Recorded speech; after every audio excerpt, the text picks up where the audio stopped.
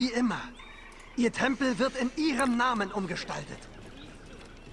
Hallo Leute, recht herzlich willkommen zu einer neuen Folge Assassin's Creed.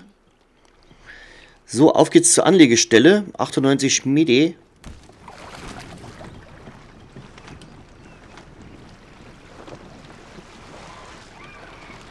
Schauen wir mal, was uns dort erwartet.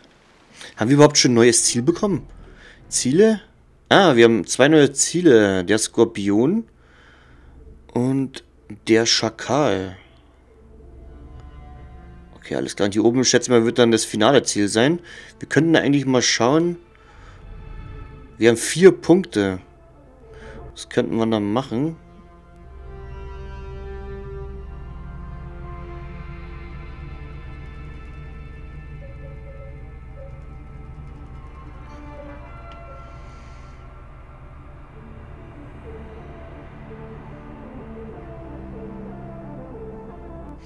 Okay, das schauen wir uns später nochmal an, würde ich sagen. Oder schaue es mir offscreen mal an.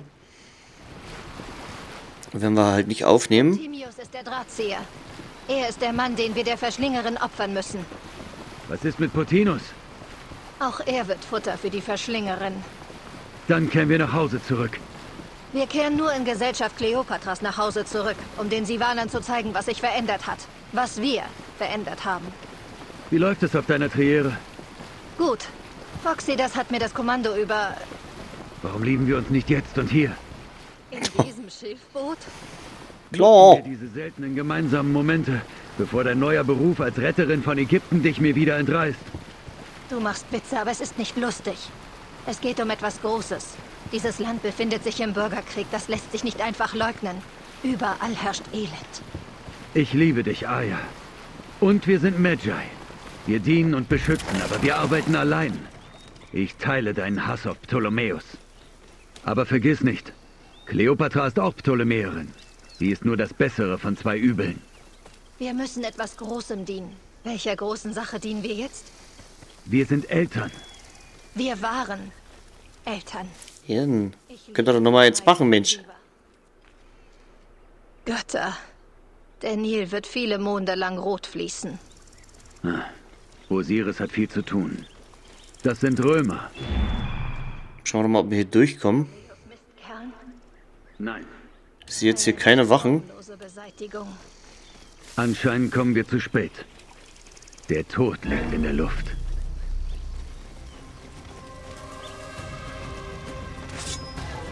Oh, Krokodile.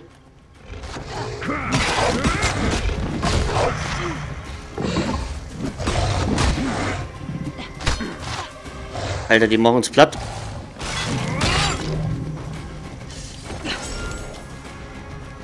Müssen wir aufpassen, das ist schon Stufe 32. Ich kann es riechen. Ich gewöhne mich langsam an faulendes Fleisch. Jetzt komm doch mal her, Mensch. Mach die denn? Los, Aya.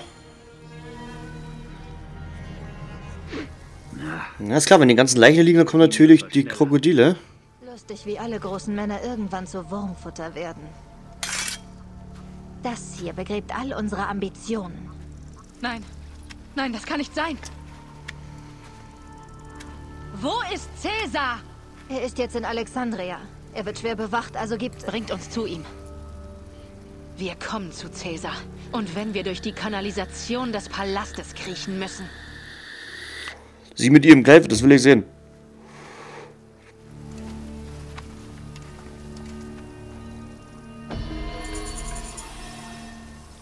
Alles klar. So, Stufe 30.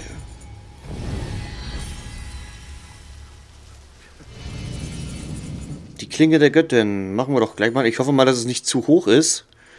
Das schauen wir uns aber jetzt erstmal schnell an. Na, Stufe 31. Okay, das ist okay.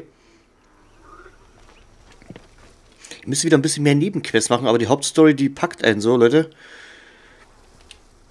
Eine Vorwarnung, Bayek.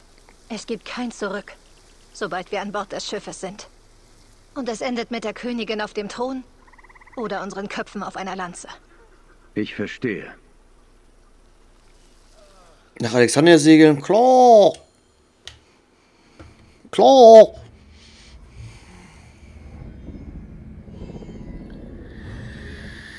Ich meine, wenn die äh, Quest 31 ist, müsste es locker funktionieren eigentlich.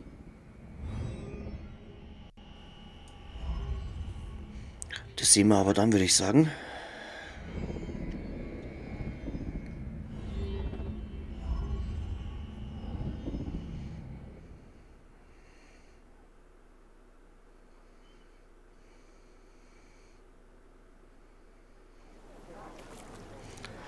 Mittelmeerküste.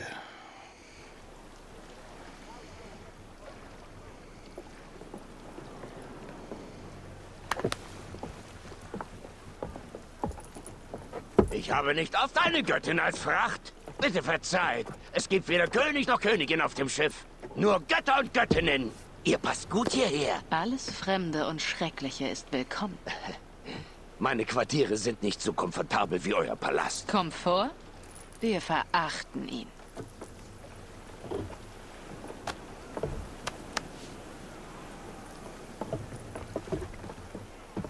Ist die ein bisschen spitz oder was?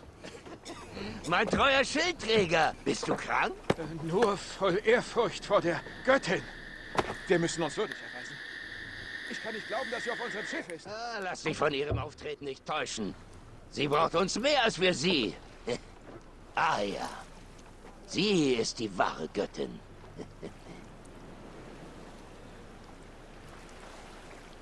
Dort.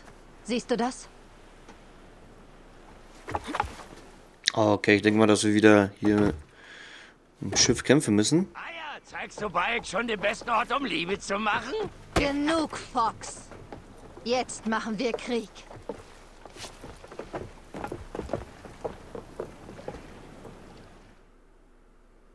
Brüder auf See! Heute haben wir wertvolle Fracht geladen. Königin Kleopatra, Herrin der Vollkommenheit. Okay, mein Gott, ich weiß gar nicht mehr, wie das geht, Leute.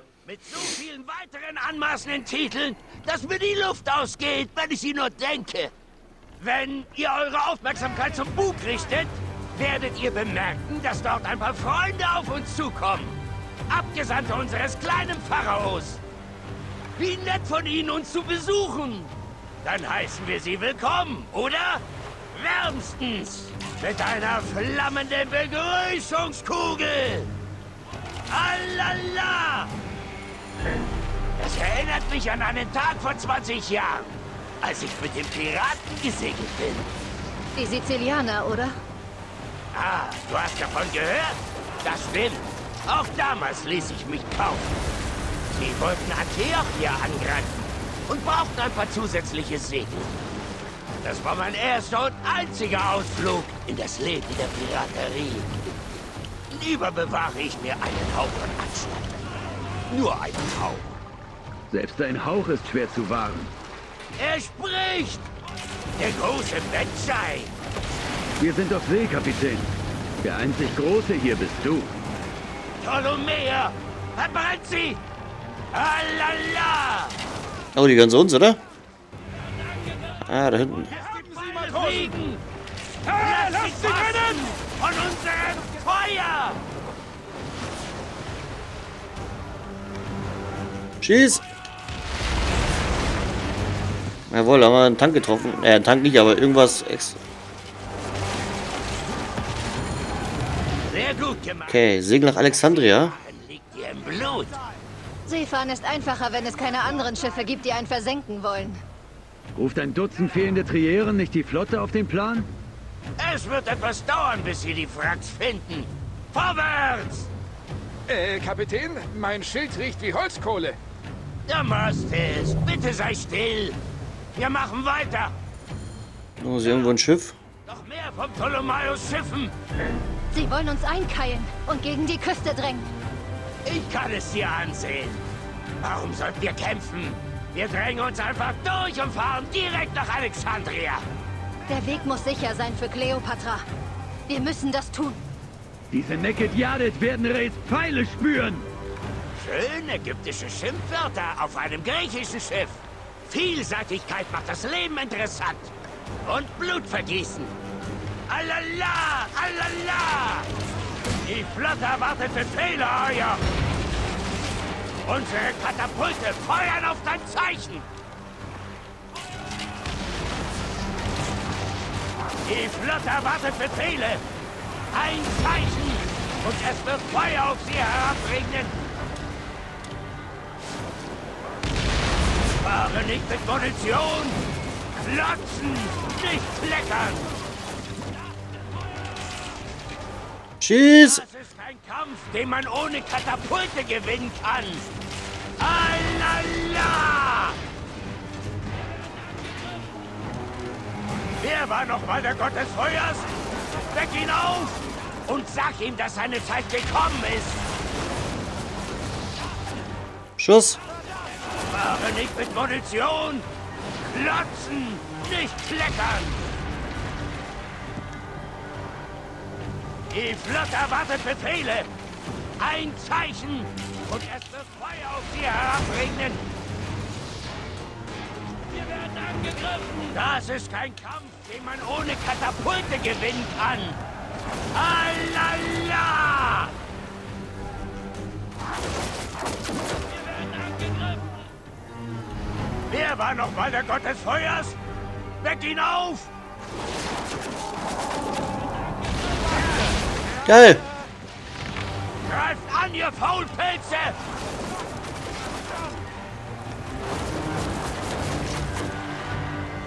Schieß! Achtung!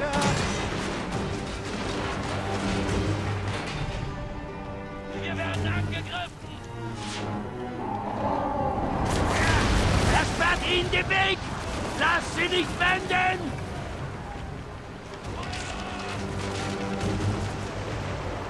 Feuer! Zeigt keine Gnade! Schickt sie zum Meeresgrund!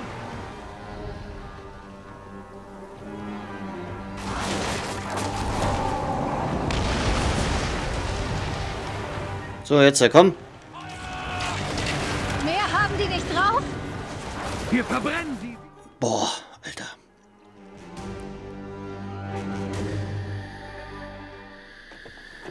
Die Luft stinkt und nicht nach Männerschweiß. Was ist das?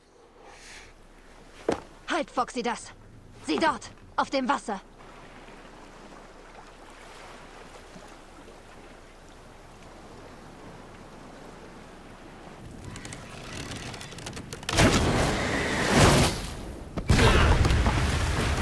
Oh, die haben wir so einen Ölteppich gelegt anscheinend. Zwei Schiffe versenkt. Ich hab Ptolemaios. Aber er hat eine schöne Marine. Ich bin kein Feldherr mit prall gefüllten römischen Schatzkammern. Das waren meine Männer. Ganz ruhig, Foxy, das. Wir sind noch nicht am Ende. Unsere Katapulte erledigen das. Sie werden bezahlen. Und teuer bei Zeus Eiern. Ich will den Ozean mit ihrem Blut tränken. Damastes, gebt den Befehl, erhöht die Schlagzahl. Ja, mein Kapitän! Alala! Sie schicken eine Oktäre, eine schwimmende Stadt. Verdammt, wollen die Götter meine Flotte versenken? Verfluchter Poseidon, ersticken sollst du an diesem alten Fisch. Kopf hoch, alter Mann. Beleidige die Götter nicht ohne Grund. Zornige Götter wären mir jetzt lieber als sanftmütige. Öffnet den Himmel und lasst irgendeine Scheiße auf uns regnen. Ein Biest muss noch erlegt werden.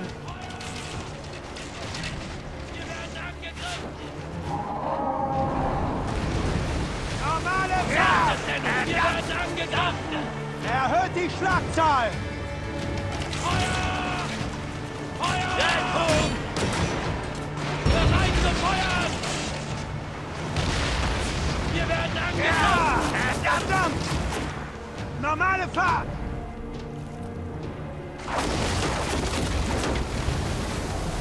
Wir werden angegriffen! Normale Fahrt! Ja! Nicht gut!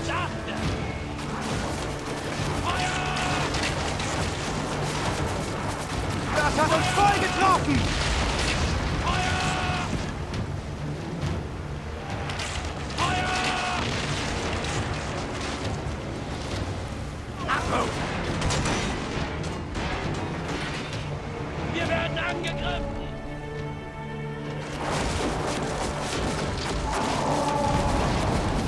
Au, au, au, au.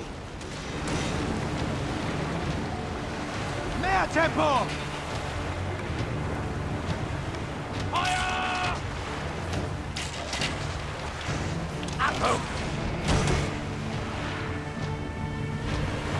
Wir werden angegriffen!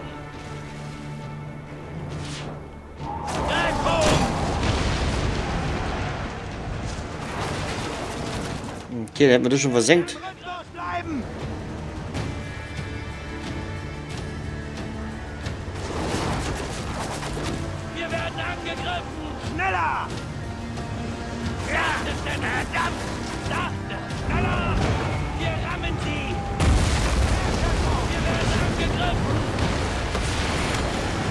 So gefällt mir das. Die Götter haben Humor, Aya. Damals, als ich dich traf, hat mich auch die Gefahr wiederentdeckt. Bayek, du bist ein Knappes Ding. Allerdings. Glücklich über deine grimmige Gesellschaft. Tut es dir leid, dass ich dich aus dem Ruhestand geholt habe? Ganz und gar nicht. Ganz und gar nicht. Mein Blut fließt schneller. In Jetzt hoffe ich mal, Hitze des Gefechts. Dass wir jetzt nach Alexandria kommen. So viel Aufregung habe ich seit den frühen Tagen von Kleopatras Vater nicht mehr erlebt. Boah, knapp, aber Lass uns nicht voreilig feiern, alter Mann. Wir sind noch auf See mit einer Fracht im Wert von tausend Schiffen. Ob Kleopatra unbeschadet überlebt hat? Ihre Kleider sahen teuer aus. Alle sind sicher, das war's. Angriff von Steuerbord! Also, ich hab's genau gewusst. Ptolemäus Schwächlinge sind nicht tot. Nehmt die Schilfboote und entkommt durch den Nebel. Ich erledige das hier. Das Schicksal ist ein räudiger Hund, Eier. Genießt die Ruhe, ich bleibe hier im Strand. Flieht, ihr Narren! Ignoriert die Pfeile! Okay. Soll das schaffen werden? Bevor wir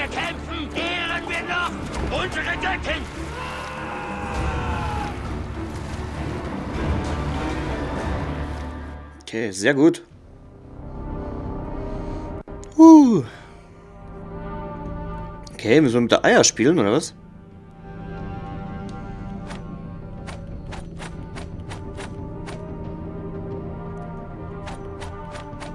Geil.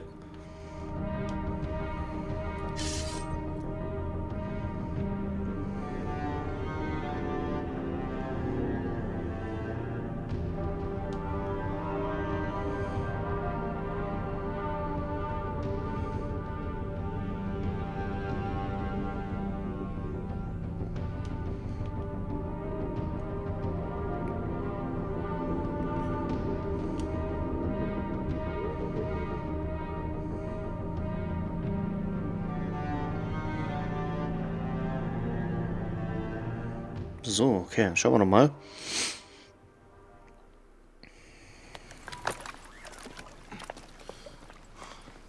Wir dürfen auf keinen Fall römisches Blut vergießen. Man kann nicht bis an die Zähne bewaffnet in den Palast spazieren. Dann legen wir die Waffen ab. Bewaffnet oder nicht. Sie wird erkannt werden.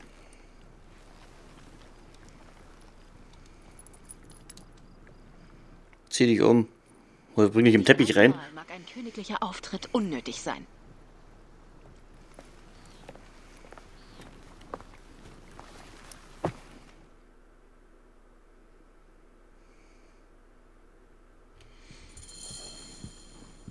Liefere Kleopatra. Okay, Leute. Wir tun, als würden wir hier ein- und ausgehen. Vergesst das nicht. Ich würde sagen, was hier aber passiert und wie weit wir kommen, das schauen wir uns in der nächsten Folge an. Alles gut. Und ich würde mich natürlich freuen, wenn ihr wieder dabei seid in der nächsten Folge. Bis dahin wünsche ich euch viel Spaß auf meinem Kanal. Ciao, ciao. Euer Andi.